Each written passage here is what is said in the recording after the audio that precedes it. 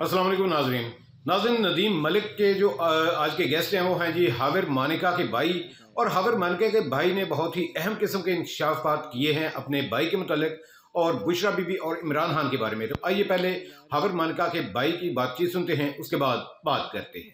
जो है खुद आपके बड़े भाई खावर फरीद मानिका साहब, बुशरा बीबी, आपकी भाभी उनका बड़ा फेथ है यहाँ पे। तो मैंने सोचा कि यहीं बिठाता हूँ इसी ज़मीन के ऊपर जहाँ बुशरा बीबी खुद आके बैठती हैं। तो फिर मैं आपकी ज़बानी सुनूँगा कि क्या बात हुई क्या नहीं।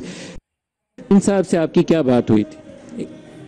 जहांगीर तरीन साहब के पास 2018 के इलेक्शन से पहले। जी जी जी। आप और फारूक साहब गए आपके छोटे भाई? जी मैं और फारूक दोनों ही गए थे और मेरी नीयत ये थी कि मैं क्योंकि पीटीआई में था उस वक्त फारूक ज्वाइन करना चाहता था तो मैंने उनको इंट्रोड्यूस करना था फारूक को भी और फारूक को मिला दिया। हमारी गपशप हम तीनों की गपशप हो रही थी। फारूक साहब पीटीआई ज्वाइन करना चाहते थे?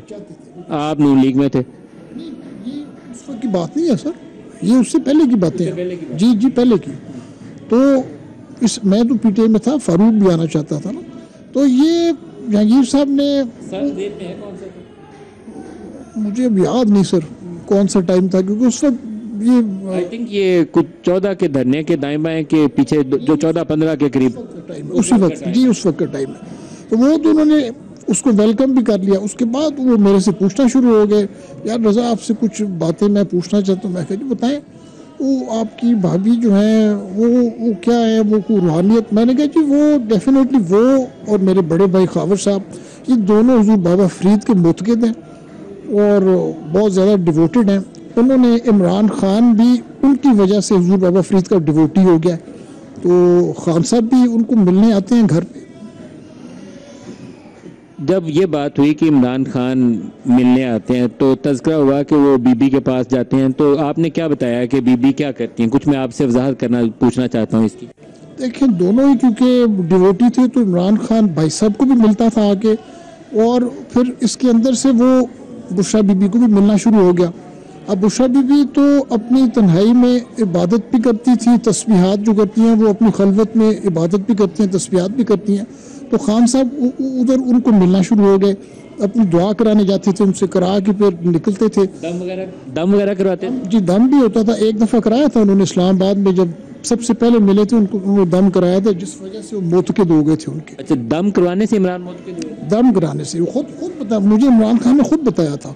इमरान खान ये बात आपको खुद खुद बताई? थी कि उनकी कोई ये शिन ये आगे वाली बोन जो है ना दौड़ते वक्त उसको उसको बहुत पेन होती थी तो ये इन्होंने बुशरा बीबी ने दम किया था तो मुझे ऐसे लगा था जैसे मेरे सर से ना एक बोरी का वज़न हट गया। ये इमरान खान ने खुद मुझे बताया था। जी।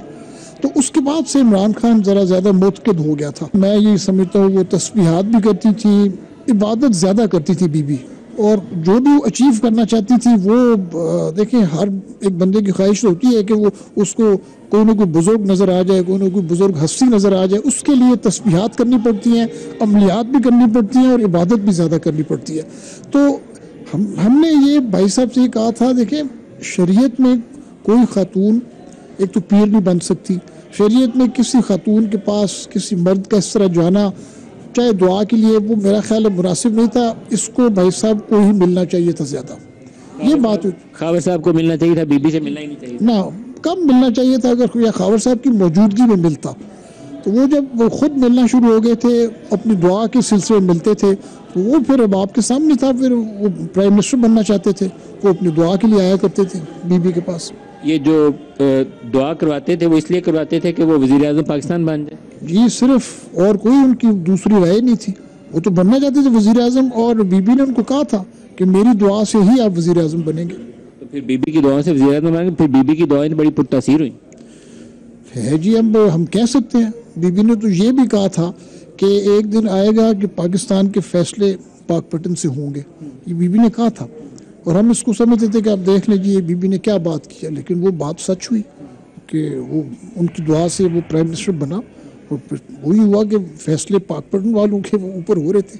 अच्छा मैं ऑन रिकॉर्ड एक चीज़ मैं क्योंकि बहुत से प्रोग्राम करता हूँ, मैं बुशरा बीबी से मुझे कुछ मुलाकातों का मौका मिला और मुलाकातें मैंने बुशरा बीबी से इसी वक्त की जब इमरान खान उनसे मिलना शुरू मैं जर्नलिस्ट हूँ तो इमरान मिलते थे तो एक तजस्स जर्नलिस्ट का पैदा होता है। मैं उनकी बहुत इज़्ज़त करता हूँ, दिल से इज़्ज़त करता हूँ। ये जो भी सियासी मामला हों, उनको कोई अच्छा कहे या बुरा कहे, उनका फेल अच्छा है या बुरा है, मैं उसकी वजाहत में नहीं जाता, लेकिन मैं उनकी इज़्ज़त करता हूँ।